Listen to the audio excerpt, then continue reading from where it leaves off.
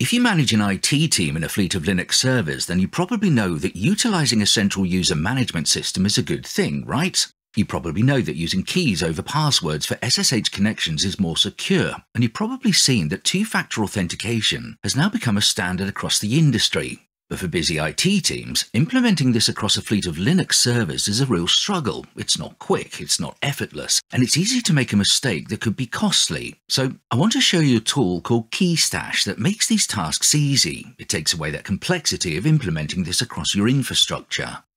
The first thing we need to do after logging into KeyStash is to create an SSH key. You can let KeyStash guide you either to create a key or upload an existing key that you have, whichever you prefer. This key will be distributed to all the Linux servers that you've been granted access to.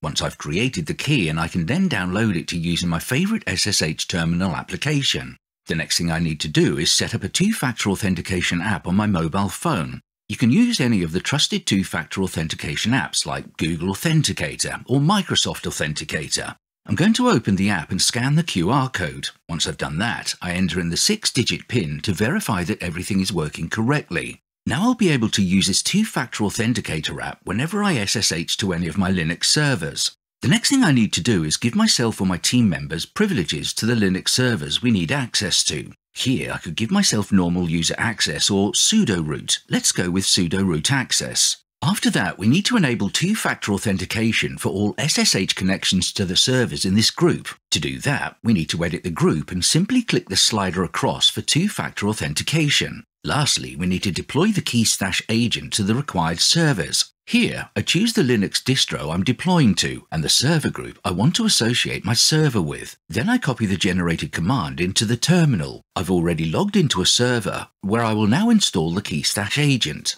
Now that it's installed, let's try login with my new key I created and the 6-digit token from our two-factor authentication app on my mobile phone.